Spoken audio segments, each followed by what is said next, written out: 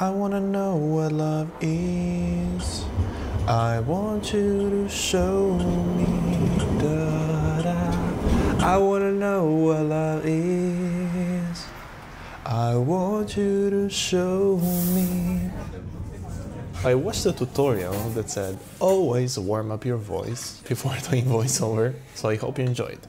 Today was a rather unremarkable day here in Oslo, but it matters not, I just wanted to do some coding and take you guys along the way. More importantly, I just want to take it easy today. I'm so tired of the overproduction and AI generated content that I want to take it in the opposite direction. Like this video is not even color graded. There's no music, there's barely any sound editing. It's just life as it is. So I hope you guys like that.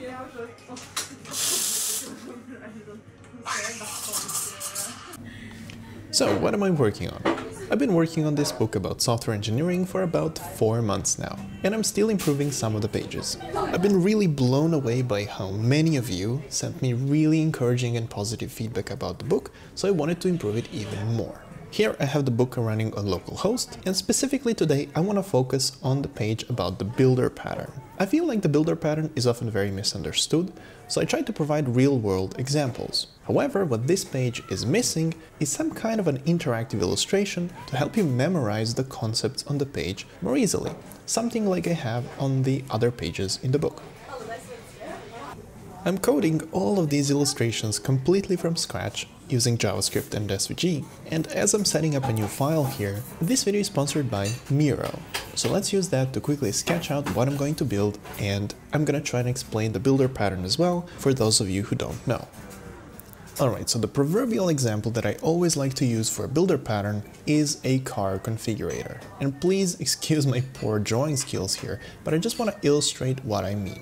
So you know how on pretty much every manufacturer's website you can configure your dream car. So let's say you can choose the color, you can choose the size of the wheels, you can choose the trim levels and so on. And this website allows you to do it for free and you can do it over and over again and you can even save your configurations for later and come back to them and share them with your friends and so on. So in this example, the car configurator website is the builder pattern because the builder is an object that is very cheap to create, easy to manage, and safe to discard. And it simply represents the configuration of whatever you want to produce. Later, as a distinction to that, when you actually want to produce that vehicle in a factory, let's say that this is a car factory, that process is very expensive. So you want to delay that process as much as you can.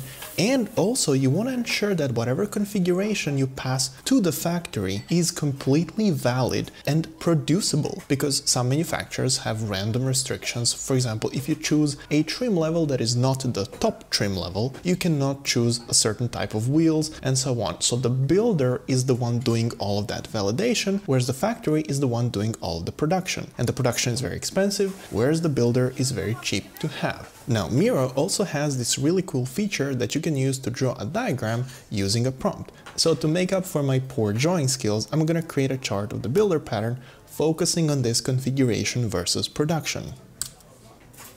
So here you can see when you start building your object, you can configure it as much as you like by setting parameters and the builder will validate your configuration, optionally produce errors if it's not valid, but finally if the configuration is fully specced out and it is valid, it will allow you to produce the object and it will give you the final car in this case or whatever is necessary to produce. So again, I just want to drive home the point that the builder is very cheap to produce, you can have as many of them as you like, and it allows you to configure producing a resource that is usually very expensive to produce, such as a car, or maybe in programming it can be a database connection which requires open ports and so on, and in the book I give a few more examples as well. So check out Miro guys, the AI features are really cool, they save a lot of time, especially if you're creating something fiddly like a sequence diagram with lots of lines and boxes and shapes, or maybe you're exploring a complex algorithm, nobody has the time to put all of those elements by hand on the canvas. This way you can get started really quickly, get something on the page immediately, and then later if you have time you can improve it, but in my experience it gives pretty good results out of the box as well.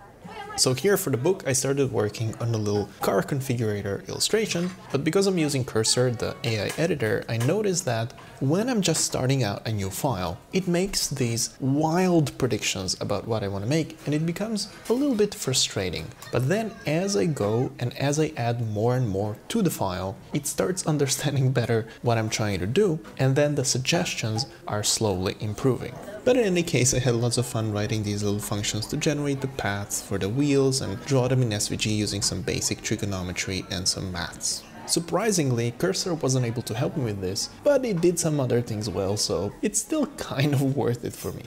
Now, while working on this book, I also stumbled upon a really cool open source project, which is a little editor for editing SVG paths in the browser. And I found it useful on more than one occasion, but here I recorded how I was able to create the bodywork of the car. It's hosted on GitHub pages and I'll include a link in the description for you guys, so check it out. A bit of a fun fact, I made my own little animation framework and almost like a little game engine for all of these illustrations. There is a way to get the book with its source code, so I put a link in the description if you're interested. But in short, it's a simple class that allows you to compute how a value changes over time with an easing function. And with a few helpers to create sequential and parallel animations, I was really able to create some pretty complex stuff that might look hard from the outside. But for now, I'm just really excited that I had the wheels working and I created two different variations, the off-road wheels and regular wheels. But I had one more kind of funny idea to finish it off. And maybe I should tone down the amplitude a little bit for the off-road wheels, but for now, honestly, I'm just really happy with how it turned out. So thanks for watching, check out Miro and all the links in the description guys, and I'll see you in the next one.